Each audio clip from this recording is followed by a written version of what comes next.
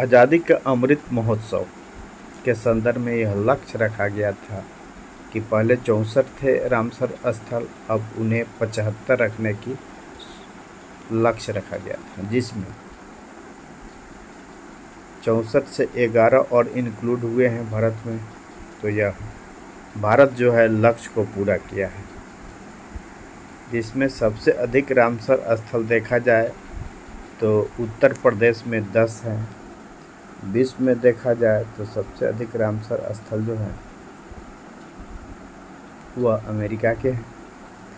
यहाँ पे ग्यारह इंक्लूड जो किया गया है, जिनके नाम बारीकी से दिया गया है, उड़ीसा के दो, उड़ीसा के तीन, मध्य प्रदेश के एक, तमिलनाडु के चार और महाराष्ट्र के एक और जम्मू कश्मीर का एक सॉरी जम्मू कश्मीर का दो शामिल हुआ है, जिसके तहत रामसर स्थलों की संख्या अब पचहत्तर हो गई। है तो धन्यवाद दोस्तों। जय हिंद दोस्तों।